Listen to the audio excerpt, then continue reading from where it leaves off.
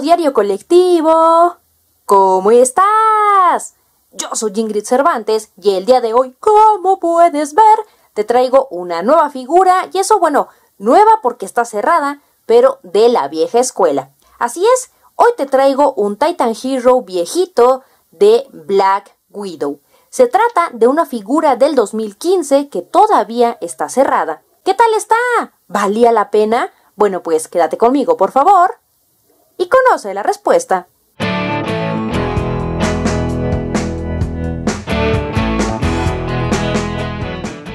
En esta ocasión, como puedes ver, te traigo la primera, o creo que sí, una de las primeras versiones o la primera versión de Black Widow para Titan Hero. Si no mal recuerdo, esta figura la compré creo que a finales del año antepasado y hasta el día de hoy tengo oportunidad de traértela al canal.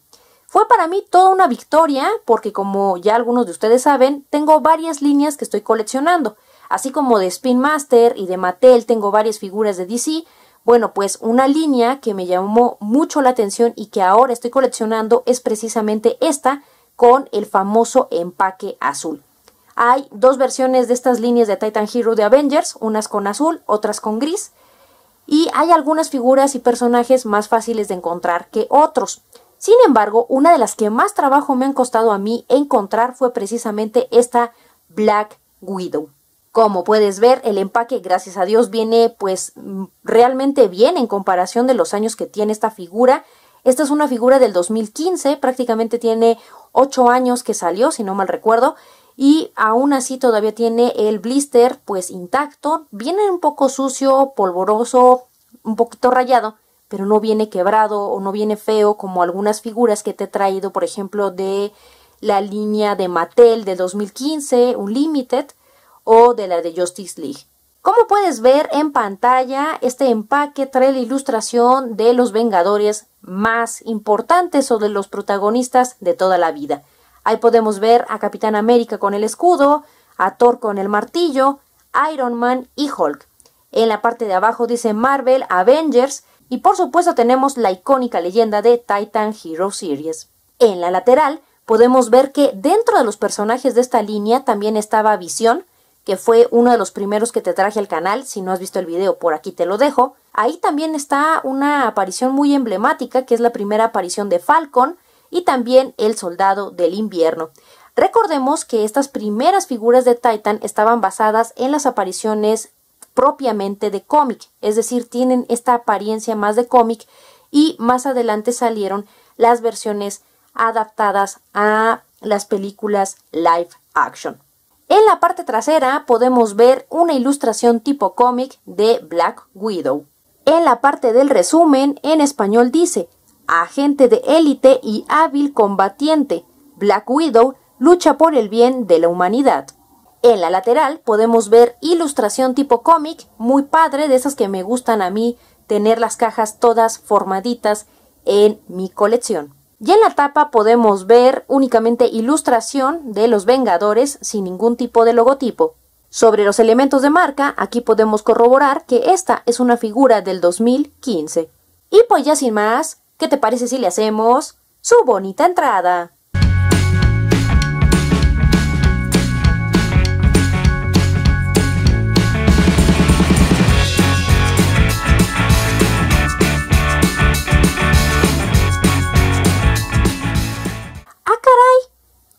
Tengo que admitir que sí me gustó. La verdad es que, vamos a ser honestos, de la cara no es precisamente la figura más guapa que te he traído al canal. Sin embargo, tenemos que reconocer que para ser, creo que la primera aparición de la figura, al menos en esta escala que tanto a ti como a mí nos encanta, creo que vale la pena tener en la colección. Como puedes ver, lo que más destaca pues es obviamente este color rojo que eh, podemos ver en los antebrazos, pecho, hebilla del cinturón y cabello. Personalmente, aunque el rostro no me termina de gustar, me gusta bastante el cabello. Creo que incluso me atrevo a decir que me gusta más que la versión que tuvimos más reciente de la película homónima de Black Widow. ¿Recuerdas este traje blanco? Eh, creo que en este caso me gusta un poco más cómo manejaron el tema del cabello. Desde aquí puedes ver que compromete la movilidad de la cabeza, pero el trabajo de relieve a mí me gustó bastante. Como puedes ver, obviamente no se ve mal la figura, me late mucho la impresión de ojos. Sin embargo, pues sí se ve un poquito rara. De hecho, se ve un poquito descolorida porque tenemos unos labios pintados más en color rosa que rojo y se ve mucho más pálida. Sin embargo, el trabajo que hicieron en el tema de los ojos es maravilloso, al menos a mí me gustó bastante. Ahí podemos ver este cabello con flequillo, tenemos relieves, no nada más está pintado, hay relieves en toda la parte del cabello. Y como te comentaba, de la parte trasera incluso me gusta más el trabajo que hicieron en esta figura del 2015 que en la más reciente. Me gusta porque incluso da la impresión de que estuviera mucho más largo el cabello. Ahí podemos ver los mechones y la verdad es que sí, me gusta bastante. Creo que lo único que le cambiaría es el color de los labios para que estuvieran un poquito más encendidos. Con respecto al traje, como ya pudiste notar, pues eh, tenemos una figura muy lisa. Únicamente tenemos color negro y pues el logotipo oficial de Black Widow en color rojo. En la parte de los brazos tampoco tenemos gran detalle. En la espalda también. De hecho, nada más aquí tenemos una simulación de pliegue a la altura de la, de la cadera. Sin embargo, algo que me sorprendió es que esta figura no tiene el cinturón como parte del molde, sino es un accesorio que se puede quitar y poner. De hecho, aquí podemos ver eh, como que los orificios del cinturón. Sin embargo, como ya es viejita, no voy a intentar quitarlo porque probablemente o se rompe porque el plástico es un poquito duro o se afloja. Cosa que ya me pasó con uno de los brazaletes, ¿ok? Los brazaletes, para mi sorpresa, también son un accesorio es plástico blando, entonces en teoría trae tres accesorios, lo cual se agradece y por desgracia creo que perdimos con el tiempo porque por lo habitual siempre tenemos, por ejemplo, el cinturón como parte del molde y únicamente se pinta por separado. Otro detalle que está padre en el molde es que tenemos coderas, sin embargo no están pintadas y por ello se pierden. Quizás si hubieran puesto un poco de color, estas estarían mucho más llamativas. Por supuesto, en la parte de las piernas tenemos piernas lisas, sin embargo tenemos aquí el detalle de las rodilleras, las cuales sí se ven padres, lucen muy bien. Y a la altura de las botas, pues aquí otra vez, como siempre Hasbro en aquel entonces y a la fecha en muchas figuras, tenemos una figura con las piernas muy lisas, solo que en este caso sí tenemos un poco de detalle en la parte de los zapatos, no sé si lo alcanzas a apreciar, pero se ve muy chido. Sin embargo, y por desgracia, por la parte trasera sí está totalmente lisa. Nada más se ve la línea de las rodilleras. En cuanto a la figura por sí sola, me sorprendió que al sacarla de caja está livianamente más pesada que otras figuras. Por supuesto, tiene las piernas huecas, es plástico bofo, pero de la cintura para arriba, tanto por el tema del cabello como por la parte del tórax o del pecho, tenemos peso y hace que la figura pues se sienta bien. Incluso en cuanto a equilibrio, como puedes ver, es mucho más fácil de posar.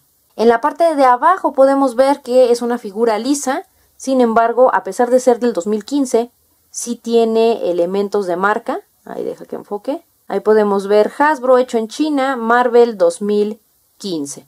Pasemos al tema de articulación. Esta figura, por desgracia, solamente cuenta con 5 puntos de articulación. Comenzamos con cabeza y por desgracia, de hecho, diríamos cuatro y medio. Esta figura puede ladear un poquito. Sin embargo, como ya lo notaste, el cabello compromete la articulación y solamente tenemos izquierda-derecha, pero muy, muy poquito. Arriba, abajo realmente es nulo y precisamente por el cabello no hay manera de rotar. Hacía mucho que no destapaba figuras de este tipo y me sorprendió ver que no hay articulación a la altura de los hombros. Sí, es muy raro, pero no tenemos apertura. Únicamente hay rotación. Sin embargo, por el cabello también cuesta un poquillo hacer que rote. Sin embargo, sí hay rotación. No tenemos, para mi sorpresa, articulación en las muñecas, lo cual pues es muy, muy raro. pero recordemos que esta figura es de hace 8 años.